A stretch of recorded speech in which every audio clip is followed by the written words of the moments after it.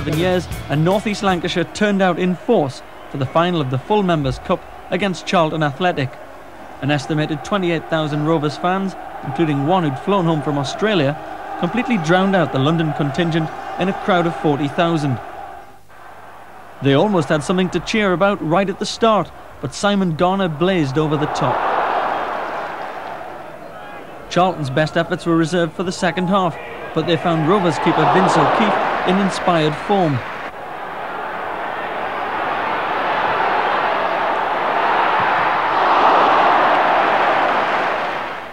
The game seemed destined for extra time when Rovers finally did it, just five minutes from the end. Ian Miller got past his man on the right, his cross eluded the Charlton defence, and Rovers' new boy Colin Hendry hammered home a spectacular winner.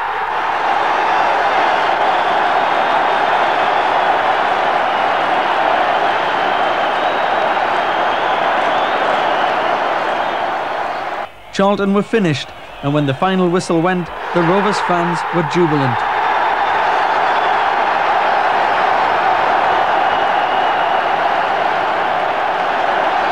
The players also joined in the celebrations, goalmaker Ian Miller performing an impromptu somersault. When the fuss had died down, Blackburn's Scots contingent reflected on a great day for the club to be a second division club to come to Wembley and win a trophy, I mean, you should forget about the game really and just say we've won it and that's it. But I think the boys are professional enough to appreciate that we can play better and disappointed for the fans to a point that it wasn't an entertainment. The only thing we've got, the only comfort we've got, the vast majority have gone away today happy because we won. I think that uh, if I'd been neutrals here, they'd have been very disappointed with the final. I'm disappointed with the way we played, so are the boys. It's the greatest thrill in my footballing career, absolutely tremendous. Um, we didn't play very well, to be in all fairness. Charlton ran the game, but to win at Wembley is everything. So, and you could ask our supporters, they've gone home delighted. Tell us about the goal. Yeah, the fullback, he showed me the inside, so I just knocked it past him, went round outside of him, and it wasn't a bad cross. I missed the keeper out, and uh, okay, the big lad was at the back post and he stuck it in.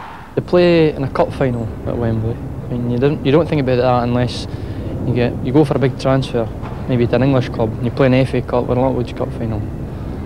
But to play here in a cup final, score a winner, it's well, it's the greatest feeling I've ever had. Probably I will ever have. What did you feel like when you saw it hit the net?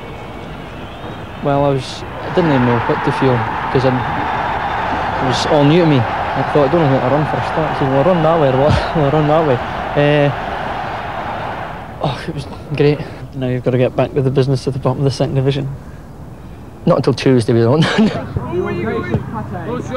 Blackburn Rovers' greatest day for a quarter of a century began alongside Sunday League footballers in a public park in Hertfordshire. light training was followed by light lunch at their hotel. It may only have been the full members' cup, but the players were enjoying the trappings of a final. Then a team which only weeks ago seemed to be heading for the third division was on the road to Wembley and so were nearly 30,000 of their supporters. You don't recognise us? well, I'm amazed even coming through the streets here, seeing boys walking around about in blue and white. Uh, I know there's certain London clubs playing blue and white, but not blue and white halves. And there's boys with blue and white shirts on, blue and white scarves on. It. It's fantastic. But they've come a long way. They made a big trip of it. We've got to make a day to remember for everybody. Every footballer's dream was coming true for 11 players from the lower reaches of the second division, and fans they didn't know they had were there to cheer them on, outnumbering the opposition almost three to one, it seemed. Well, it's the first time at Wembley. I've never been before, and I always said if I came to Wembley, I'd be to sit Rovers. So, yeah. What about the support today? It's fantastic, isn't it? It's really great. What about Charlton support? Where are they? Where Can't are see they? any. Have they come down no. today? An hour before kick-off, the players chanced to try out the famous turf. But unlike greater Wembley occasions, this was a family final, and for one Rovers player, good wishes from his young son. You all right? Enjoy yourself? Good lads.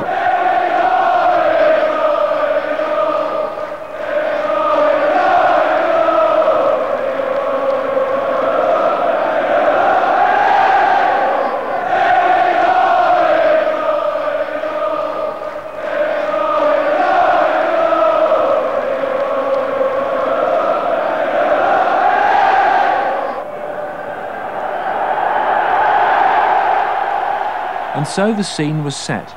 For the first time in 27 years, Blackburn were at Wembley, their opponents, First Division Charlton.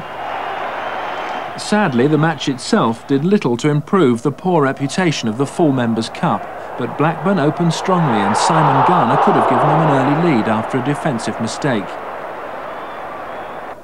But Rovers' finishing let them down. A David Mail free kick found Scott Sellars in space, but he wasted it.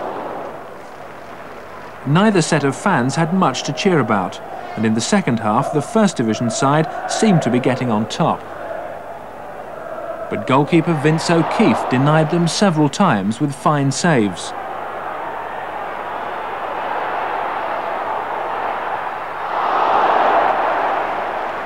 One of them setting up a chance for Simon Garner.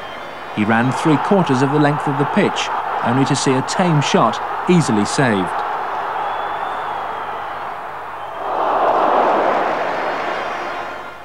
But with five minutes left, Ian Miller's cross found recent signing Colin Hendry, who made no mistake to score the goal which won the cup for Blackburn.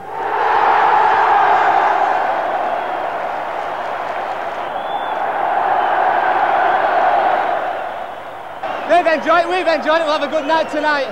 Oh, the goal were a pearly. There was nothing wrong with that. Nicely taken. So it's dream come true. 21 years of age. This is my ambition. I've fulfilled it at 21. Greatest thing ever. We won. That's the only. That's the only thing that matters. We won. The fans are absolutely unbelievable, yeah. And uh, it's what they deserve. They've not been here for 27 years, and what a what a great day it's been. Lovely, brilliant. Can't ask for anything better. First time down here, but it's been great. You know, really enjoyed it. A taste of success for the Rovers, signalling perhaps a return to the big time.